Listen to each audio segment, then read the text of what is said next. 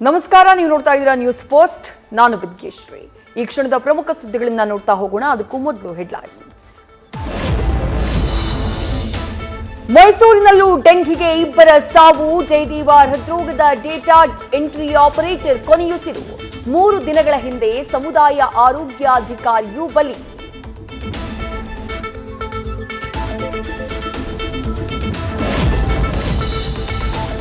ಮಹಾಮಾರಿ ಡೆಂಗಿಗೆ ಹಾಸನದಲ್ಲಿ ಯುವತಿ ಬಲಿ ಚಿಕಿತ್ಸೆ ಪಡೆಯುವಾಗಲೇ ಬಹು ಅಂಗಾಂಗ ವೈಫಲ್ಯ.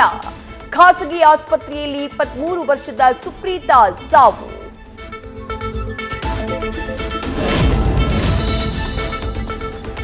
ಡೆಂಘಿ ಹಾಟ್ಸ್ಪಾಟ್ ಆಗ್ತಾ ಇದೆ ರಾಜಧಾನಿ ಬೆಂಗಳೂರು. ನಿಯಂತ್ರಣ ಮಾತಾಡುವ ಆಡಳಿತದಿಂದ ಏನೂ ಕ್ರಮ ಇಲ್ಲ. ಪಣತ್ತೂರಿನಲ್ಲಿ ಅಧಿಕಾರಿಗಳ ನಿರ್ಲಕ್ಷ್ಯಕ್ಕೆ ಬೇಸತ್ತು ತಾವೇ ಫಾಗಿಂಗ್ ಮಾಡಿಕೊಂಡ ಸ್ಥಳೀಯರು.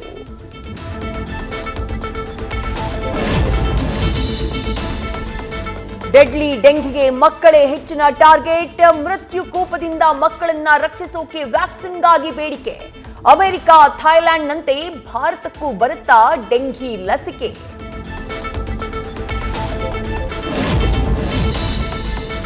ಡೆಂಘಿ ಕಾಟದ ಮಧ್ಯೆ ಝೀಕಾ ಆತಂಕ, ವೃದ್ಧ ಮೃತಪಡ್ತಾ ಇದ್ದಂತೆ ಅಲರ್ಟ್ ಆದ ಆರೋಗ್ಯ ಇಲಾಖೆ.